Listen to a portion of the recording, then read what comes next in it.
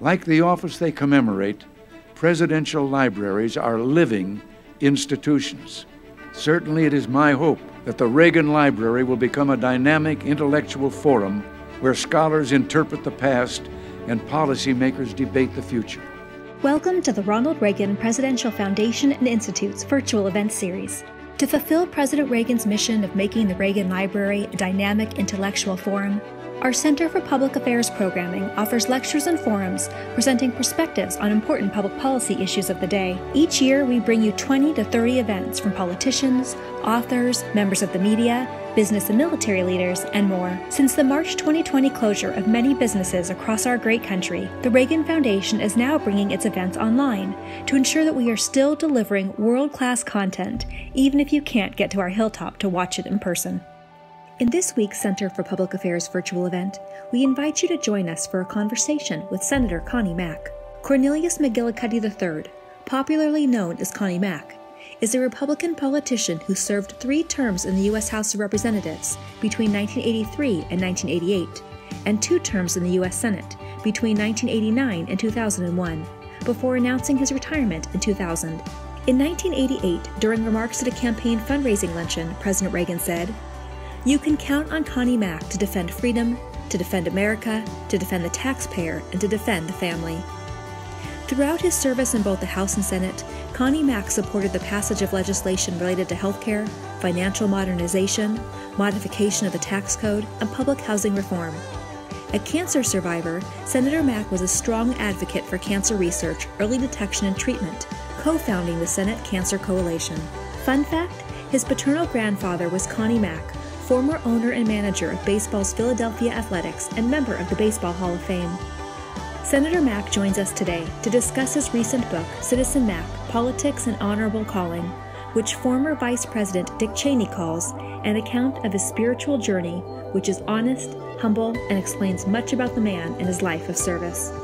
We now invite you to enjoy our virtual program, coming to you from our Air Force One Pavilion Leadership Academy Oval Office, with Senator Connie Mack and Reagan Foundation and Institute Executive Director John Heubusch. Citizen Mack, Senator Mack, Connie Mack. Um, I, I read this book and I just tell you, it's a, it's a wonderful journey back in time and, and an incredible memoir. Thanks for writing it. And I, I know that everyone who tunes in to uh, all of our shows at the Reagan Foundation and Library. Just going to love it. So, congratulations for writing the book. Thank you. Thank you so much. It was fun to do. It was a great experience just to write it. Yeah. Well, how? Tell me how is Priscilla, your family? Uh, tell me. I hope all the whole Mack family is doing well. Uh, thank you for asking about them. Yeah, we're all doing super. Um, Priscilla, uh, she's had some medical problems over the years. I mean, as we get uh, older, that happens to us, but she's come through them really extremely well. She's as strong as ever. Uh, has that wonderful personality that she does, and the sure. kids are great. Uh, you know, our son Connie was in Washington for years. Uh, he just recently moved to Fort Lauderdale, so he's back in Florida. Debbie's in uh, up in St. Pete in that area. The grandkids are great. Our great grandchildren are wonderful. So uh, the yeah. Lord has blessed us, and we're very pleased. Yeah, that's that's great to hear. Um, so I want to go back and review history a little bit um, and go to the time before you even ran um, for the your House seat. Um, I wonder if many people remember um, you were a banker. You were in the banking community in Florida, and that's essentially the platform that got you even interested in issue, community issues and in running for office in the first place, right? Yeah, I would. You know, that that's interesting. You know, uh, uh, a community banker because I was not some banker out of New York or Atlanta. I was a community banker. You know, we had assets of you know maybe 60, 60 million dollars. You know, hundred million dollars. You know, we were small banks. We, you were involved in your community, so you really got to know the concerns. Uh, when a person would come in and say they wanted to borrow some money, you ask them a few questions. You really learn about what they're experiencing, and clearly those days were very, very difficult for people. Uh, interest rates, uh, you know, we were we were actually paying six, 16% for certificates of deposits back in those days. So you can imagine what the rates, uh, you know, 18, 19, 20% being charged on on loans. Mortgages were being made at 14%, something like that. I mean, inflation was out of control. I mean, there really was a there was a there was a loss of faith uh, in our country at that time, and a real concern about our future. And that's kind of, you know, those discussions uh, are one of the things that kind of led me uh, into my involvement in politics, but also um, a very active Congress in the 70s with respect to financial regulation uh, just got me so angry. And I would come home, you know, and I'd be complaining about it. And Priscilla would look at me and say, you know, Connie, either do something about it or shut up, you know. so, yeah. so, that was a challenge I had to respond to. Sure, sure. Uh, and then, um, and I really didn't I have a faint memory of this, but I, I wasn't reminded of it until I read your book. But you had a brother named Michael who you obviously were really close to. And um, when you were young, when he was young, um, something happened that, that really influenced your life. Tell us about that. Yeah, well, that's a, that's a very important um, aspect of my life. Um, I am one of eight children. Uh, the four oldest, uh, we were one each a year apart. And so my brother Dennis is a year younger than I am. My brother Michael was a couple of years younger than I am. And uh, we were very close uh, as, as boys growing up together. Uh, we went to uh, high school at, at, the same high school. We went to college together. We were fraternity brothers. We were very, very close. I, I have deep admiration for all of my brothers and sisters. Mike, for some reason, just seemed to be special. Uh, he had a great sense of humor. He could walk into a, a piano bar and sit down and, you know, just start playing the piano and sing songs to people all around. He's the kind of person people love. He was incredibly bright. Uh, my brother Dennis graduated from law school at the University of Florida, number two in his class with high with honors. Michael graduated number one in his class with high honors. Um, both very very bright guys, um, and so Michael was very special. And uh, uh, unfortunately, at a very young age, in his 20s, he was diagnosed with, with melanoma. And that melanoma was located on the, on, on the top of his head. And, and, and so that, that it, was, it was hidden f- from view and it grew and eventually grew to the point where it became malignant. And uh, uh, here he is in his, in his uh, final uh, year of law school. It may have been his final semester of law school. He has to have this what would appeared to be was going to have a radical neck surgery, which is a major, major, uh, in essence, reconstruction of the, the, side of the face. It, it, didn't turn out to be quite uh, that severe, but the operation was very significant. He did not drop out of his of school. He continued and finished that, finished it on time, graduated with his other members, and uh, and fought that cancer uh, for 12 years, which was almost unheard of for melanoma uh, back in those days. And in being with Michael uh, those days, uh, uh, you notice a smile just came across my face. You might think you'd be in tears as opposed, but we had such wonderful times talking about life and and how to deal with life, which led to, you know, kind of asking those questions about why am I here? What am I supposed to be doing with my life? And that was a major, major influence. Um, it gave me a period of time of introspection to really ask those questions. And eventually, uh, with the, the, thanks of a fellow by the name of, of Don Shank, a reverend of a church in in, uh, in Cape Coral, Florida, uh, I was doing some counseling with. He was also doing some work uh, for me in the bank, and uh, he kept encouraging me. Kind of, you're such a wonderful person. You know, we all hear those kind of nice things about ourselves, and we, you know, okay, all right, you know, you don't really take them seriously. You of but he he he said it in, in such a way one time to me. I looked at him and said, Don, you know what I hear you saying to me is the biggest sin a person can commit is the failure to use the talents that God has given you.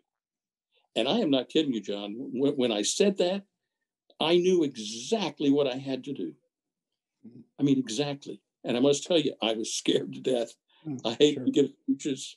so I'm driving home and tears are coming down my eyes uh, I worried about. I, I, knew I knew I had to run for the Congress, and I got home and I was getting ready to go jogging. I put putting on my shoes. Priscilla came into the room. And she said, "What you doing?" And I said, "Well, I'm getting ready to go jogging." Uh, I said, "What would you say if I told you I was going to run for the Congress?" She said, "Great, go for it." often, one, I have often wondered. Suppose she had said, "I don't think that's a good idea," you know, whether it really would have happened. But so Michael, you know, Michael's life and his death, you know, just had such an enormous impact uh, on me, and obviously yeah. still today missing. Sure. Yeah, and it comes in. It just sings right through in the book, and I, I have a lot of, you know, empathy for that whole story. Uh, you know, my own personal story. I, fought a truly terminal cancer for five years, and and think I've beat it. I, I hope I have, and it's. Uh, so when I read that your brother Michael had gone through that kind of a struggle for 12 years, it just really you get a sense for for the battle he had to fight and how it affected you. And, and, and the story you just told is uh, seems to me there was a calling. You heard a call um, right. In that whole story, right? And that's uh, no question about it. No question. Yeah, yeah. Uh, neat, neat story. And I, um, his story affected you in two ways. I think it led you to decide, okay, I'm, I need to make a contribution to the community. I'm going to run for Congress. But it also got you involved in the whole uh, the the issue of cancer and and where's there a cure and how can we fight this disease? Right? It, it affected your career outside the Senate and and as well in the Senate, right? Well, that's a good point, John. I mean, yes, it. Ha- I mean, yes, it, it changed my life both leading me into politics, but it also led me into this effort of finding a cure for cancer. It's just interesting. Before we started talking, I just got off a call on an advisory board that I had set up for the Moffitt Cancer Center in Tampa, which is a great, great institution. Um, and so, yes, my my life uh, uh, you know went down that path as well. I mean, and when I, I when I ended up, and, and we'll probably get into other aspects of this, but when I ended up winning the Senate race, within uh, the first week after uh, the race was over, we sat down and talked about what are the things you're going to do when you're in the Senate. And one of the things that happens when a person goes from a two-year term to a six-year term is kind of like, wow, you have time to broaden your horizons a little bit and to become involved in more issues. And I remember Arthur Finkelstein asking me, well, what's the thing you really have passion about? And I said, I said cancer, cancer research in particular. And from that moment on, uh, my life has been you know, down that path uh, of, of, trying to find dollars for research, uh, and, and, you know, and having actually been chairman of the board of the Moffitt Cancer Center and for eight years, still on the advisory board today. So yes, sure. a whole new life opened up there as well. Yeah, I want to. I promise you, I want to get back to the uh, the subject of uh, Arthur Finkelstein because I know how important he was in your political career, your life, and many people's lives. Um, uh, but I let's let's go to 1982. Um, you success. You had a success. You you never met with anything but success in each uh, each of your races, but you first won in '82. So you were on. you're a part of the Reagan Revolution. You're on the the front end, right? And you you entered the House in '82 along with uh, some other uh, major figures, one of them being John McCain, right? Absolutely, yeah. Yeah, and John became a dear friend. Uh, yeah. And John Kasich was another that came in that, that same uh, same time. But John and I, um, I, I, nicknamed him Quick Draw McGraw. Uh, you know, because you know John could come at you with with the guns ablazing, right? Uh, yeah. But he's a wonderful man. Um, I had great admiration for him. Very close over the years. We both ended up, uh, you know, we came in together into the house. He went to the Senate two years before I did. I followed him into the Senate, and we spent, uh, you know, my 12 years in the Senate together. You know, we both had you know, really different approaches to, to you know, our, we had different personalities. We, yeah. I think, each had great respect for for the other, and it was a real tragedy when we lost him. But he was a great, great leader uh, for the for the country. Yeah. Yeah. Yeah, you're right. It, it was fun to see you, uh, the two of you, work together and like you say, different styles, but but much of the same philosophy, right? In fact, if I can, if I see if I remember, if I memorized it, you know, what was Connie Mack about? It was less taxes, less government, smaller government, uh, strong defense, and more freedom, right? We, we came up with, you know, we came up with that uh, tagline, which you know some people just kind of discount as you know a throwaway line, but the reality is less taxing, less spending, less government, and more freedom. Uh, you know, literally, we would be in conversations about new pieces of legislation and ideas, and and someone, either me or someone in the staff, would say, "Well, what does let's this, this what does that do with respect to less taxing, or what does that do to That's spending? Right. What does it do to the growth of government? What does it do to uh, to to the importance of freedom?" So it really became um, a test for us as to you know the things we said and the things we pursued. Yeah, sometimes a bumper sticker actually has real value, right? It uh, it had meaning for you. Now, um, I knew about this particular group because I worked on the House side when you were there, um, but I bet you a lot of people in the in the public don't, and that's this group that you were invited to join uh, very early on of of of members in the House um, uh, called the Conservative Opportunity Society, COS, right? And I, I, think I remember you all meeting every Wednesday morning, and uh, um, it was a tight group, uh, knit group of members. Tell me, how did that group influence your outlook in Congress and affect you? Yeah, yeah, absolutely. But I wonder, if, John, if we could, you know, before I get into that question, let me just go back one step because, again, this we are at the Reagan Library, and yeah. uh, I think it's important for for those of us who love Ronald Reagan uh, to, to hear this story. So again, this is ni- this is 1980, and I'm in that bank that, that we talked about earlier. Uh, and because of conversations with all those different people, the, the 1980 election became very, very important to me. I'd never, I mean, sure, I voted and all that kind of stuff before, but this one was just for some reason really, really focused. Uh, I was a I was a Democrat at the time, um, and so you've got Carter and Reagan running, and I'm observing this, and I kind of came to my own conclusion about what the race was all about. I mean, Jimmy Carter basically was telling us that we're going to have to learn to live with limits for the first time. You know, Americans are going to have to learn with limits that uh, uh, we have limited resources, and, and, and the answer to all of our problems is to bring into Washington a larger, wiser group of bureaucrats to make the decision of how to, how, how to allocate limited resources. That was his perspective. Reagan, on the other hand, said, no, that's not the way it, it, it works. It, it, it, works because of free markets, free enterprise, capitalism. Uh, that's what built America. That's what's going to make America great again. So, I mean, I'm watching this and I'm thinking to myself, I hope America decides, you know, what the right answer is. So we're sitting there, Priscilla and I are sitting there watching the election that night, and I am blown away uh, with the victory that Ronald Reagan had in, in November of 1980. Uh, and not only that Reagan had, but also the, all of the Senate, new senators that came into the into the U.S. Senate and the number of new House seats that were picked up by the Republicans.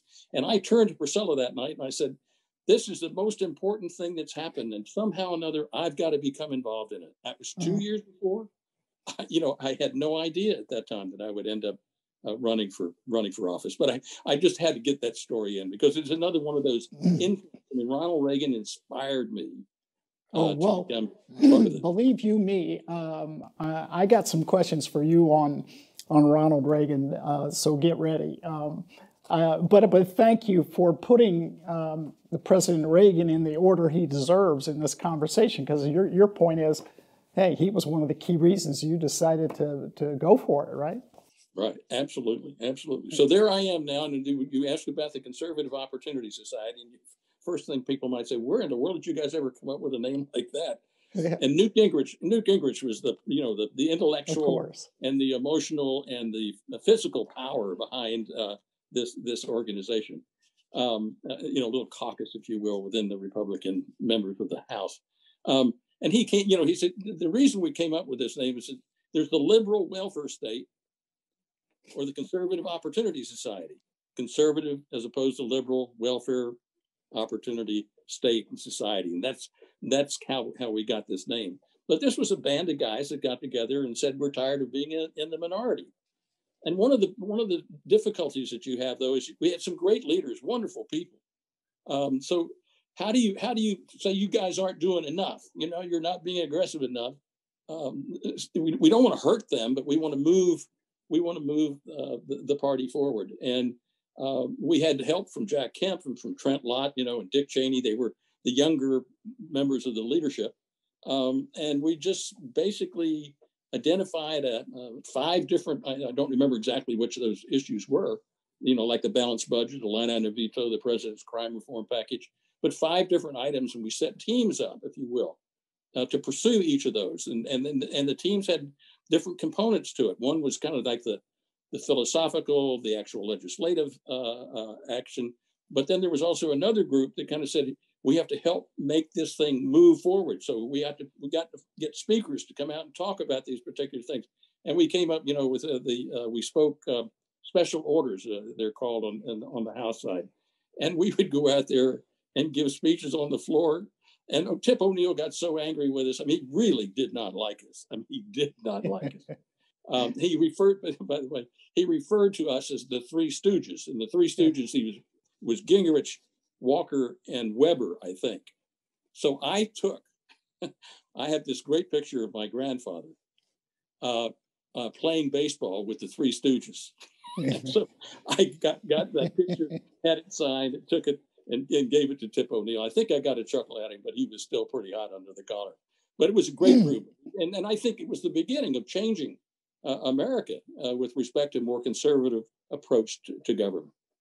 Yeah, that was a classic uh, Newt Gingrich style guerrilla activity from the backbenchers who found a lot of inventive ways to call attention to those issues and to start really making a difference, right? Yeah. Uh, yeah for example, uh, there was a fellow from Florida who was for the balanced budget uh, constitutional amendment. So we had this process where we would go down during the one minutes each day, and we would each person would get up and say, "Mr. Mr. Speaker, I'm here today to ask the uh, ask you to bring to the floor of the House uh, the, a bill for a balanced budget constitutional amendment. Of course, we immediately get overruled. They wouldn't bring it to the floor. But one day, one day, the only Democrat on the floor was this poor fellow from from Florida uh, who was who says he was for the balanced budget constitutional amendment, but he had to stand up and object to our bringing. So it was a little difficult for him to go back home and say, "Yeah, I'm for the balanced budget." But yeah, didn't you just? Uh... So anyway, we did all kinds of things to kind of push our agenda forward. Yeah, then you had a um, a really neat idea, and I remember this at the time, uh, and it's something I think that really helped introduce you to the broader conference to get better known and to get some start to get some attention uh, uh, upon yourself and uh, and that was when you circulated a very important letter uh, that that dealt with the subject important to Ronald Reagan uh, and it was all about tax cuts. So tell us about that. Well, again, I, have I have thought about that uh, many times over the years. How something very, very, very simple had such a major impact on on that particular debate about the third year of President Reagan's tax cut. Uh, so this is 1983. Uh, I've just been sworn in. Uh, a, a major um, issue for uh, major- the majority leader, uh, Jim Wright, was to eliminate the third year of, of Reagan's tax cut. One of my staff folks, um, could have been David Blee, could have been, well, anyway, you know, said, you know, Congressman, we, we think you want to go down and get 143 signatures on this letter saying that if the Congress passes legislation to repeal the third year of the tax cut and Ronald Reagan vetoes it, we are committed to sustaining that veto.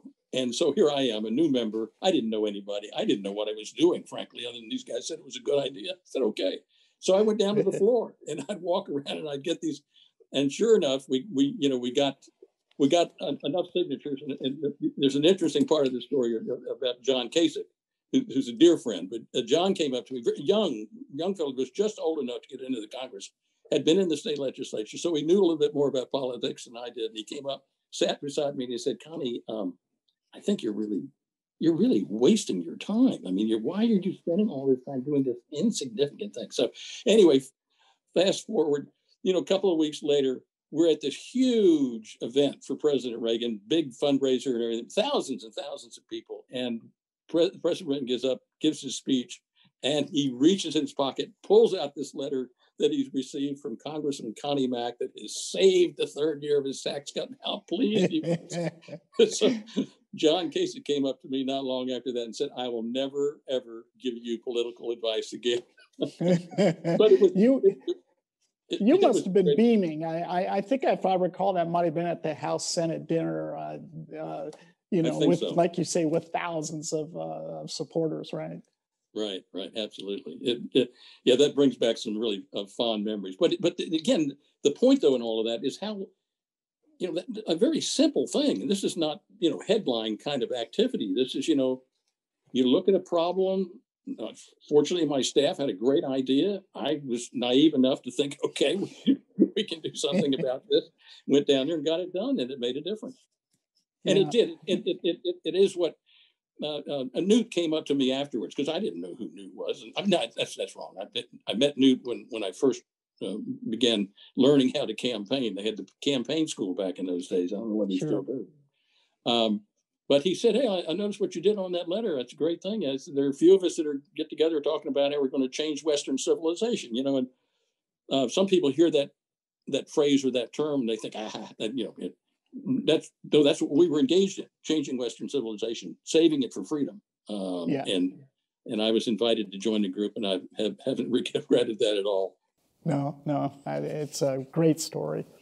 Uh, and I think in your first term, you were placed right on the budget committee, or was that the, or that was your assignment, right? And you write in the book, uh, tell this story. I just loved it. Uh, you know, you start to get educated, and you start attending these briefings with Weinberger and others, and they start talking about planes you can't even see, right?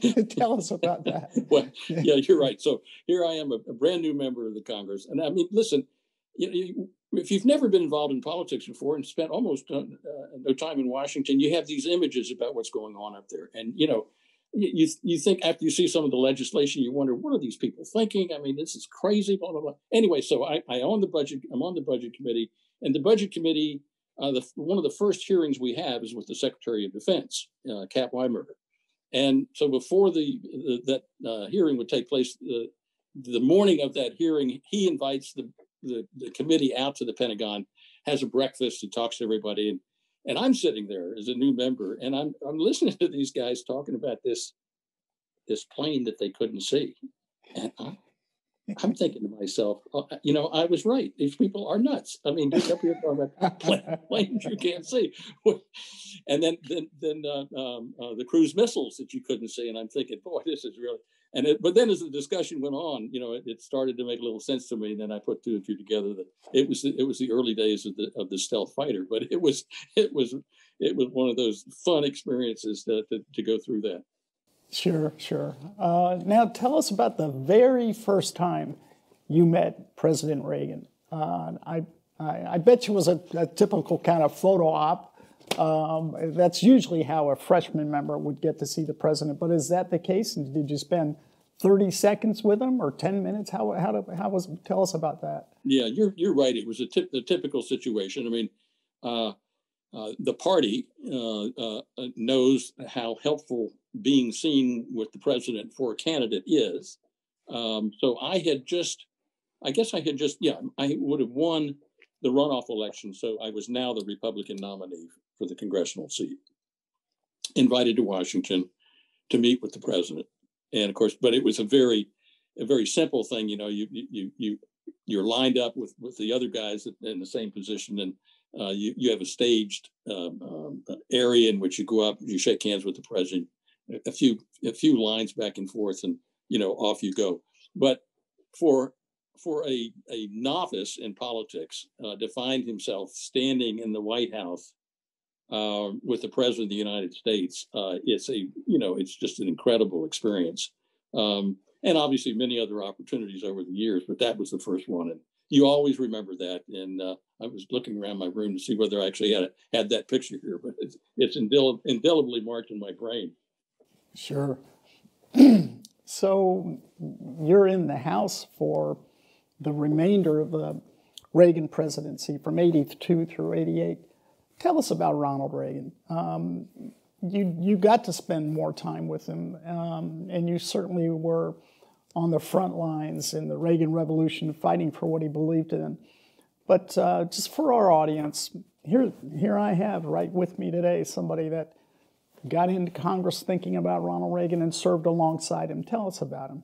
Well, you know, he was he was a larger than life figure. I mean, uh, I mean, this is this is a person that when I was with him, I just uh, I just so admired the man. I mean, I mean, really, uh, it's it's it, it's hard to say how impressed uh, impressive uh, that uh, that he was. It, his his ability to engage you immediately drew you in. Uh, he had a personality that was just was wonderful, but um, he he always made you feel so comfortable being in his presence.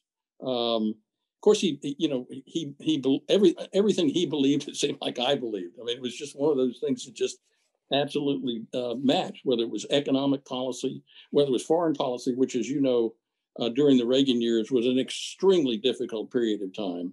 Uh, the MX missile, the B 1 bomber, uh, you know, uh, the, the um, um, uh, intermediate range missiles in Europe, the riots around the world.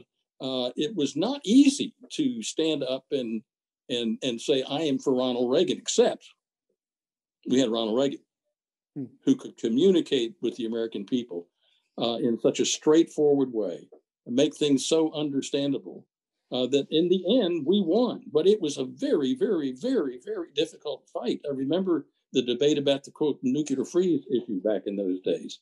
I think we lost the vote on the floor of the House. I think it was probably a resolution as opposed to any specific piece of legislation. But we really won the debate around the country. I mean, it really, it, it, after that, it just that whole issue just kind of fell away. So you know, President Reagan was was a, a, a an incredible leader. Uh, to see him represent America overseas, I mean, it just was it was regal. I mean, I guess that's a, a word that almost comes to my mind. He's regal. Um, this person is. Uh, quick story. Yeah. uh, so Priscilla and I are flying down to. He's doing an event for me in in uh, in, in '88 for the Senate race, uh, and uh, we're told how to where we're supposed to stand when we get you know as we're waiting to get off the plane you know they tell us the president will go out first you know then congressman you'll go out then your wife will come out after you. We're waiting there. The resident uh, the president comes out of his cabin starts engaging conversation with us and and says to priscilla now uh, after you priscilla and priscilla being priscilla she said uh, mr president uh, i can't do that but your folks said that you're supposed to go out first and the president says looks at her and says now, you know, Priscilla, I'm president of the United States and I can do anything I want. So you're going to go out first. I mean, he was just, he was just a very, very special man. But, yeah, you know, uh, his, he was, he was committed to his ideas and that's what, you know, that's what, that's what made following him so easy.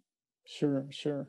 Well, you know, it works both ways too. You were, uh, I, there's no doubt that President Reagan admired you um, so much so that uh, you know you talk about when he came down to Florida in support of your sent your first Senate run. Um, he, he, in doing so, he somewhat violated the you know Republican principles in the sense of uh, he he selected he looked at you and said, "I want that guy in the primary," and and endorsed you, which was a rare moment, right? Yeah, yeah, that's right. Because there was still we were still involved in a in a primary uh, and so it was a it was a big deal, even though it was kind of downplayed. I mean, he, I mean, downplayed in the sense of the the the press was trying to figure all of this out, uh, but there's no question about he didn't downplay. He was there to support my candidacy for for the Senate. Uh, and and a story about that, uh, I remember I was asked, um, you know, White House reached out to my office and said, you know, would uh, the congressman like to introduce uh, President Reagan? And I said, I'd love to. One condition I write what I'm going to say. I don't have to, you know, you guys aren't going to write it. I'm going to write it. And it was one of those, you know, one of those little short moments uh, uh, of a speech or a, a speaking moment.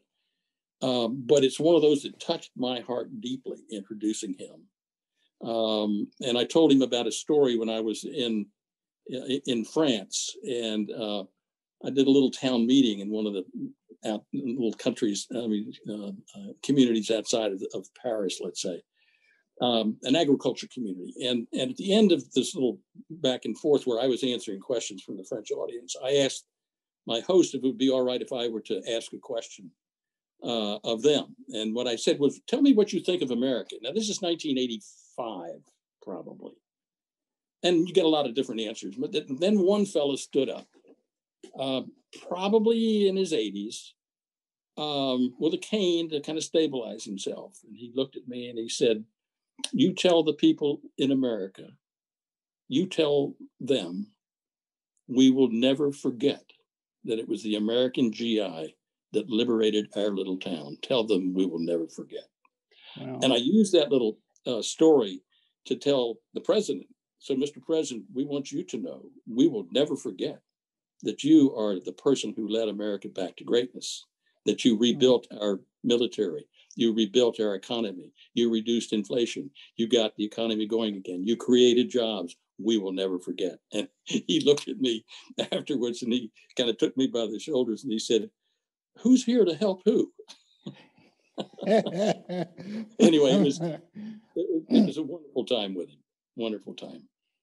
Yeah, I what a moment. Um, okay, so you you spoke about what you wrote to um, introduce the president. Uh, one of the advantages I have in this conversation is we literally I sitting right now on top of 66 million documents from the Reagan administration, and in it I found the remarks that Ronald Reagan wrote in support of Connie Mack. You can count on Connie Mack to defend freedom, to defend America, to defend the taxpayer, and to defend the family. He supports the Strategic Defense Initiative that would protect us from nuclear attack. And he supports tough federal judges who would put violent criminals behind bars. And to protect our children from the menace of illegal drugs, he favors the toughest, most comprehensive drug enforcement policies. Yes, Connie Mack cares about people. That must have been pretty special to, to, to hear the President of the United States say that. Yeah, well, it, it's it's special to hear it again. I mean, uh, yeah, I mean, I, he, he meant everything to me. He really did. One other point about President Reagan that first Senate race was tight. Uh, it was touch and go uh, day after election, a few days after election very small margin. And um, I think your campaign, thinking mathematically you'd won it, but also feeling like we had better get out there and state very definitively that you did win it in order to ensure there was momentum. And, and, um, and I didn't realize this. Actually, I knew it, I forgot it.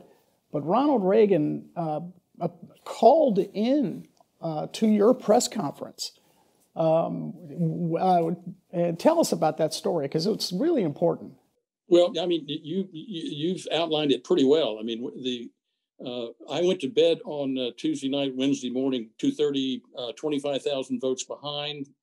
Actually, thought we had lost the race. Um, uh, three hours later, after tossing and turning, uh, you know, I, I, I, saw that oh, this thing was narrowed down to 5,000 or so uh, absentee ballots. We could win this, and sure enough, by the end of the day, Mitch Bainwol, a friend of yours. Mitch was uh, uh, my uh, campaign chairman at the time, and he, you know, Mitch had done all his calculations, and sure enough, he, he said, he said, Connie, you're going to win this race by 38,000 votes or something, 34,000 votes. And I said, Mitch, you're out of your mind. You know, it's not going to, you know, that's, that's exactly, that's basically what we won by. So, um, but it took eight days. So, so here you've got um, the, the day after the election, uh, it's now, now starting to look like we've won. The absentee ballots have, have come in. We're ahead by quite a you know, 30,000 votes, but we're being challenged by uh, uh, by my opponent.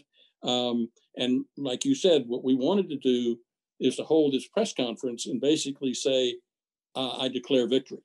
And while it's still being debated in the press and all that kind of stuff, but we declare victory. Um, and President Reagan was gracious enough to call in to that press conference, uh, we had President Reagan on the speaker, and he just called to congratulate, said, Connie, congratulations on this great victory. It was important for you to win the state of Florida and so forth. So, I mean, it really validated. I mean, that that was the point. He really validated the the point of view that I had won the election, even though it hadn't, you know, been finalized yet. And it and it makes all the difference in the world to get to that position as opposed to fighting to get back get to it. Yeah, yeah it was a wonderful sure. moment. Oh, yeah. Now, you mentioned uh, Arthur Finkelstein previous to this, but you also just mentioned uh, a, just such a terrific fellow, Mitch Bainwol, who I know was your campaign, cha- campaign chairman, chief of staff. Um, guys like Mitch are really um, special people that really drive the success for the Connie Macks of the world, right? I mean, um, uh, Mitch is Mitch is one of the smartest guys that I've known, um, and we hired Mitch uh, in when I was in the House side to do budget work. He was working at the Office of Management and Budget. I think he was in his mid to late twenties at the time. Um, looked very young, and you kind of wondered yourself, "Come on, does he really have all?" But I mean, really, really bright, bright young man. He went to Florida to set up a foundation for me that we did some work in, in, around the state then became the campaign manager, then became my chief of staff. And uh, of course, he and Arthur Finkelstein had this incredibly close relationship. Uh, and I really got to the point where, I mean, I looked to, Arthur and to Mitch, and, and Mitch more on a day to day basis. I had to have the confidence in Mitch that he knew what he was doing. And uh, it was a tough, tough, tough race. Um, but the team pulled it off. Uh, uh, and and uh, and and yeah, Mitch was Mitch is, is an important part of my life, and and I, I, feel blessed to have had him as part of my team. Mark Mills was another guy that was a terrific uh, player in that in that campaign. Yeah. Um, well, don't forget the candidate had to be a little bit involved in the success as well. So well, that's that's true, but it takes a team. It really does. it really does. Uh, you know, I uh, let's. I'd like to talk about uh, Arthur Finkelstein for just a minute or two because uh, how important of a role he played in your political career, your life. Uh, and I, I, first I have to just say, as a as a devotee, as a fan, as a, uh, a, a, really um, an enormous admirer of Arthur, uh, I uh, thank you for choosing to thank him and speak about him in the very last words of your book. I just to close out the book with um, a memory and a mention of him, I'm sure is very special to all those that worked for you in your career um, uh, and who knew Arthur and worked with him in one way, shape, or form. Tell us about Arthur. Well, uh, let's first of all kind of start at the end uh, in the sense that uh, Arthur became almost uh, a part of our family. I mean, we, we developed such a close relationship. And as you know, my son Connie uh, was in the Congress for, I think, eight years. And Arthur was uh, uh, Connie's uh, political consultant as well, and Connie and Arthur became dear, dear friends. So it, it, there's there's a great uh, loving relationship uh, about Arthur Finkelstein, my family. Um, so uh, how did Arthur Ar- Arthur got to us really kind of serendipity? I mean, we had a list of of pollsters back in 1982 to to, to take a look at, and the second or third call was to Arthur and Arthur uh, said, "Well, I don't, I'm I'm not employed by anybody in that race now," and so he, in essence, said, "The first person that offers me a job, I'm taking." Yeah. And so we said, but th- there was another little element to it is that Arthur was a huge baseball fan. Yeah. And and so the name Connie Mack meant something to it, and he sure. was intrigued by that. Um, and so that's how the relationship got started. Um, so he he he he provided the polling and the advice during the first uh, that first campaign in '82. Uh, in '84, I didn't have anybody running against me, and and uh, my AA at the time brought a new person in from as a political consultant. And frankly, things, you know, it's pretty hard to lose a race when you don't have anybody running against you. But we we did it pretty poorly. we we lost we lost some credibility in the way we handled that. Um, and so then Arthur Arthur's back on the team, and uh, you know, I, it, it, there's no question in my mind, John, that uh, that I would not have won the Senate race. In fact, I could go back maybe even to 80, the 82 race, and I'll mention that in a minute. I, I could not have won the race for the Senate in 1988 without Arthur's help. And um, the, the, help, uh, you know, people think of pollsters as the guy that look at numbers and, you know, they tell you this and they tell you that. Arthur's real strength was his understanding of what what's behind those numbers. Yeah. What do those numbers mean? How do they interact? How do those how do those groups of people in this pot over here with these numbers relate to these people over here? I mean, he and he he had such an understanding of human nature. I mean, he just knew how people were going to respond to stuff, uh, and he understood the press. He understood how they would react to certain things. So he he was invaluable. And you're right, he did an amazing, amazing uh, job. I'm I'm thinking I ought to be careful about this, but I'm I'm thinking about see if I, I can't find a way to have someone write a book about Arthur because I think one of the things that the left does real well, they really lionize their people. We have a tendency to kind of take everything for granted. You know, you move on to your next thing in life. But Arthur's one of those unique individuals that came along um, that really uh, understood American politics. He understood the press. He understood uh, human relations. Um, just a wonderful, wonderful guy. So, yeah. I mean, we can we can develop a co- couple of those stories as, as to why I've said those things, if you'd like to. But well, I, I just just know when you uh, when you make your next project, uh, writing, uh, getting a terrific book written about him, you let me know how I can help because uh, I'll add a few paragraphs. Uh, just a genius and a, an incredible human being. Okay, so last point about Arthur before we move on. Um, kind of ironic and tragic, was it not, that uh, for us all to learn, I don't know, over a couple of years ago, that cancer ends up taking Arthur Finkelstein from us, right? What a, yeah. I bet you you took that particularly hard. Yeah, yeah, absolutely. I mean, uh, as I, have already explained, the relationship that we had, and then for cancer to be the issue, and uh, uh, it, it, just, uh, I, I, I, I don't think there's, uh, there's several times a, week I will think about Arthur and say, ah, I, I, boy, I wish I could just pick up the phone and call him and get it, get his insight. But as a dear friend, uh, you know, we, we, we were just brokenhearted about it. Uh, not just me, but Priscilla and Connie and the whole family. It was just a terrible, terrible loss. And of course, he did, he died like he did everything else. He, he, he died a, a, uh, a man very comfortable with who he is and who he was. And yeah. uh, he reached out to everybody, closed the doors on lots of things, uh, made us all feel comfortable. He took the initiative to do that. Um, and so, and then a very, very special, uh, special point uh, about him. Just uh, a great, great person. Yeah. Yeah. Yeah. We're all better off as a result of knowing him. So, um, in Florida, in, in those days, we had primaries, and if you didn't win the primaries by 50% plus one, we had runoff elections. I won my primary, no problem. The Democrats had a whole bunch of people in their primary. Uh, it came down to two people, Buddy MacKay and Bill Gunter. Bill Gunter was absolutely was con- everybody was convinced Bill Gunter was going to be the person who's going to be the nominee and he's going to win this race. Uh, Arthur does a poll the day after their um, uh, their pri- uh, their primary, and he and he comes back to me and he says, Connie, he said, "Let me two things. two things came out of this poll. One is MacKay's going to win, not Gunter, and MacKay's going to come out of there with a huge momentum, and with that momentum, nobody knows who he is. That and that, or say it a different way, liberals thought he was liberal." Moderates thought he was moderate. Conservatives mm-hmm. thought he was conservative. Perfect position. You know, he's in he says the only way we can win this race, you've got to get involved in their runoff election. Of course, my, my reaction, wait a minute, I'm not, I'm not, what do you mean get involved in there? No, no, no. He says, no, no, no. Here, here's the way we would do it. So he came up with this, um, he came up with this commercial. Uh, and it, as, as you know, but the, the, the, the, kind of the tag was, hey, buddy, you're liberal. And the episode yeah. that the, the, race came down to, I was an ideological wacko. Uh, he was, he was an extreme liberal.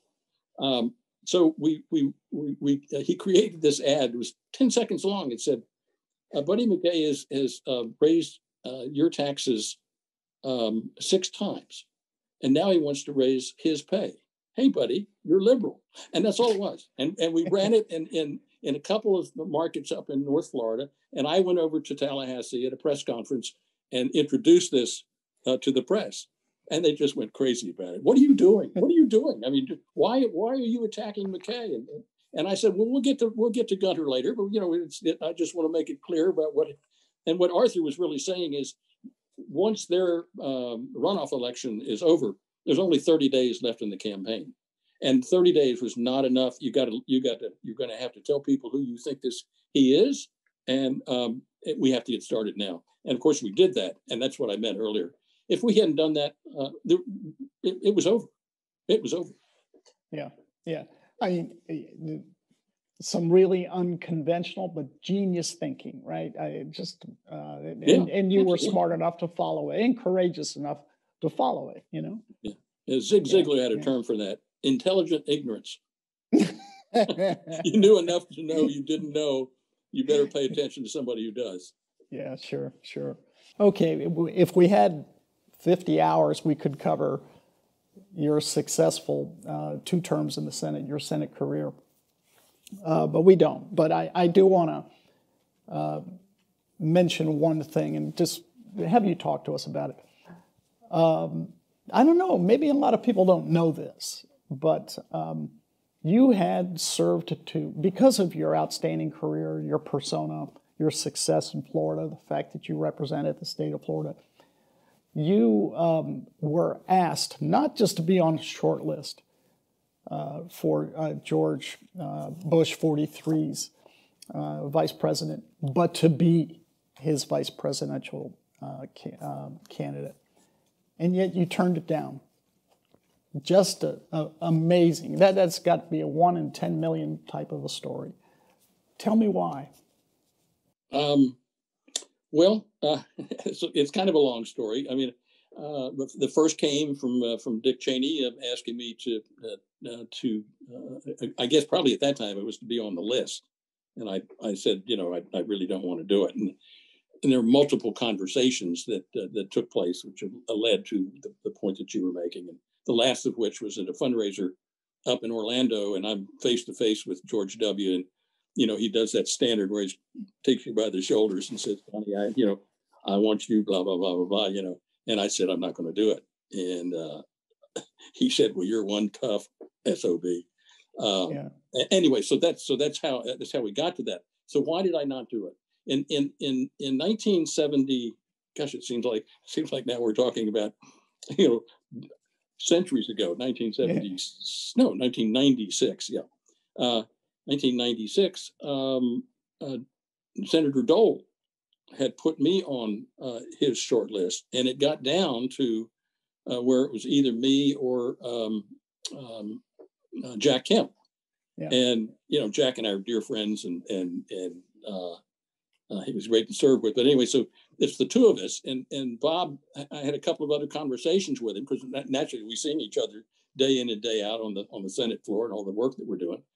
Um, he says, now uh, there's one thing. He said, I, I, I, will call you at, at some point and ask you definitively if I were to ask you uh, to run, would you do it? And so that we kind of left that. And sure enough, you know, a week or two or whatever later, uh, he called, and I had to say yes, I'll do it, or no, I won't. And and I will tell you, John, I was terrified about doing it. Hmm. I mean, I really was. It just, to me, it just seemed like, oh, it's just beyond your capabilities, blah, blah, blah, blah. But I said, I said, yes, I will do this. And so I told Bob that. And fortunately, he made the decision to pick Jack Kemp and not me. Uh, but but what I think what happened, having gone through that experience of really having to decide, because what if you if you say yes to running as vice president, you have to have in your mind that one day you're going to have a chance to run for president. Um, and so I thought all that through, and the mm-hmm. conclusion I came to was that's just not for me. I mean, I, am not one of these guys that got into politics uh, thinking that I'm doing this because I want to be president of the United States. You know, a lot of the guys end up in Washington, and yeah. men and women these days who end up in Washington to, to believe that uh, they are going to be president of the United States someday. I was never there.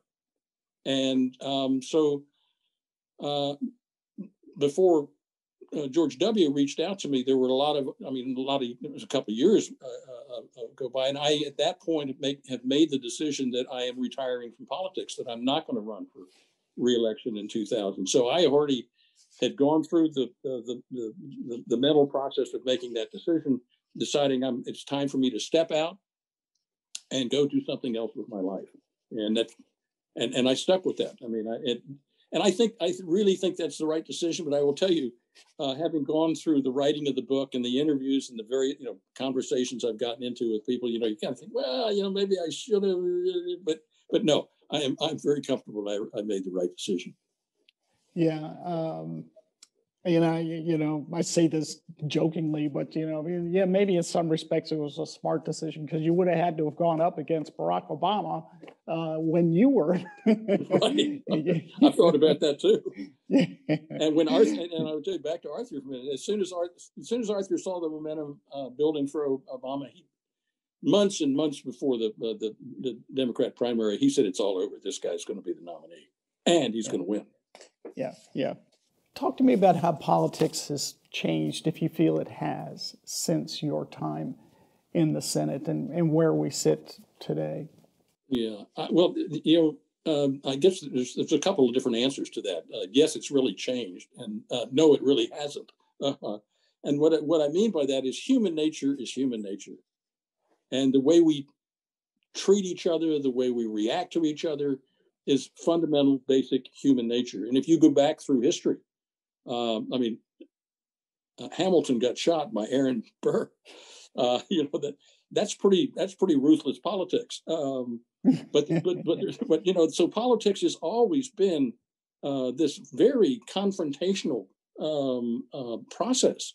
Um, so that element is still still part of it. Okay, um, there may be some modifications to that, and there's a, there's an ebb and flow to how things work. But the reality is that human nature is human nature, and that's that's at play. The the other thing, that, so that's where I can say no, it really hasn't changed, but yes, it really has changed in the sense that the technologies that are available to campaign these days, and and and what all those technologies uh, really engulf people. They, you you live in a bubble that's created uh, by these technologies, uh, who are very cleverly manipulating what you're thinking, what you're seeing, what you're hearing.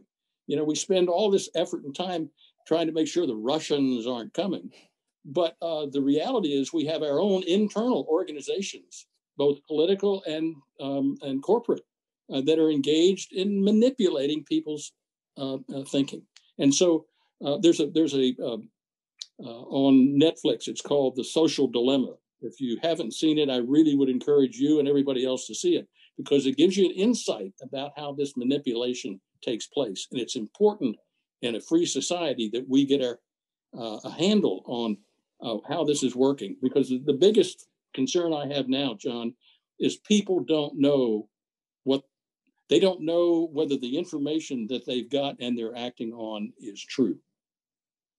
I mean, there's just it's it you just it, it's a it's a terrible thing, and that's that's part of what is causing uh, this this this this conflict, this uh, confrontation is taking place. It's real, and I think it's, it's, a, it's a result of the technology.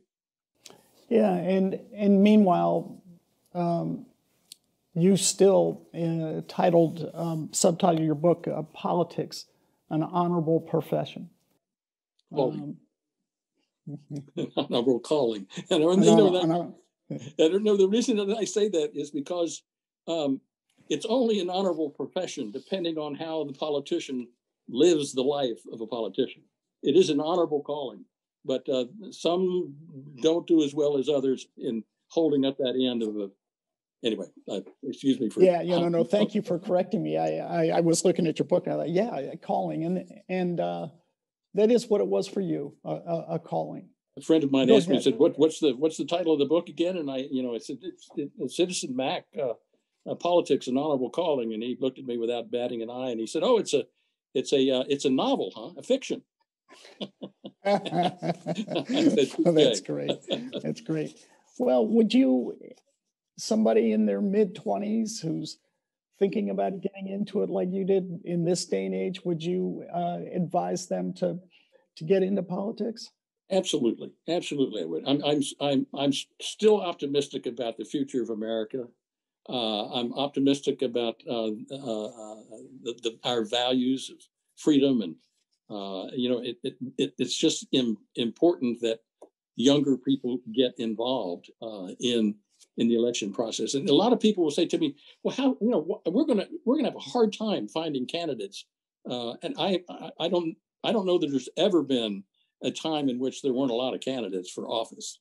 Uh, so the answer is good people uh, with the proper motivations need to get involved in politics. They can make a difference. Um, it's tough, but Absolutely, and I and, and, and I guess they, when they ask me that question, they kind of say to me, "Oh no, they're not going to do it. Why? Or what's the motivation?" It's a very simple thing, and I remember in in the in the speech I put together back for the 1982 campaign, there was a line in there that said something like, "I believe in and I love my country." Now that might sound like a, you know, oh come on, I mean that's a little eh, a little fruity, isn't it? I mean, I believe in and love my country. 1982, don't forget, very tough times patriotically. I mean, you were kind of looked at as, but but but that's but that really was the point.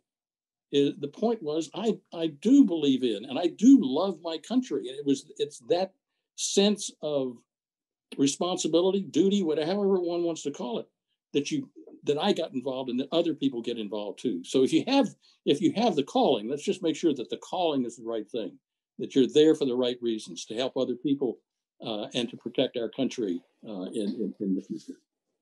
Yeah. What a great way to end a, a, a great conversation with a, an absolutely great guy. Uh, you are uh, uh, one of my heroes, uh, Senator, and I know I many, many, or millions of others who feel the very same way. So to have you write a memoir and to put all this down in one place, um, it's a special thing, and I, I, I can't thank you enough for for writing it and for all the contributions you've made to this country over the years. And so it, it really has been wonderful to see you and talk to you.